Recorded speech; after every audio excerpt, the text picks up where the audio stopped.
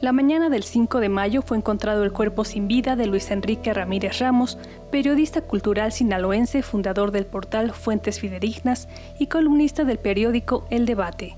La Fiscalía General del Estado de Sinaloa informó que la necropsia reveló que Luis Enrique tenía golpes en la cabeza, mismos que le causaron la muerte. Aparte de eso, no se observaron huellas de tortura. En algunos medios de comunicación se ha manejado un supuesto levantamiento, pero a decir de la Fiscalía no hubo ningún reporte de desaparición por parte de los familiares, quienes señalaron que la última vez que vieron a Luis Enrique fue la madrugada del miércoles cuando se preparaba para ir a su trabajo. Posteriormente, al no encontrarlo en su domicilio, se les informó que había una persona en el servicio médico forense. Ahí reconocieron el cuerpo que se trabaja en la carpeta de investigación, donde no se descarta, no se descartará ninguna línea de investigación, sobre todo las relacionadas a su trabajo, incluso aquellas donde se menciona su nombre en hechos fatídicos del pasado. Luis Enrique trabajó en el financiero, el Nacional, La Jornada, Viceversa, Cuarto Oscuro, Milenio, Reforma. Escribió los libros La muela del juicio y La ingobernable Encuentros y desencuentros con Elena Garro.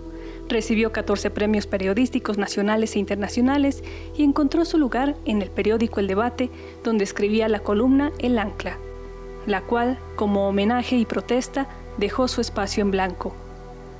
La escritora Elena Poniatowska, quien lo conoció, recordó con tristeza al periodista.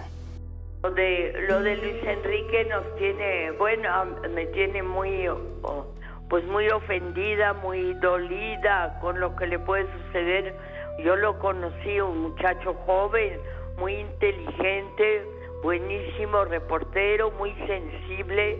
Además, este, todo lo captaba en un segundo. En 2015 había denunciado sentirse intimidado en su labor. En esa ocasión, recordó una serie de crímenes de odio en contra de la comunidad homosexual.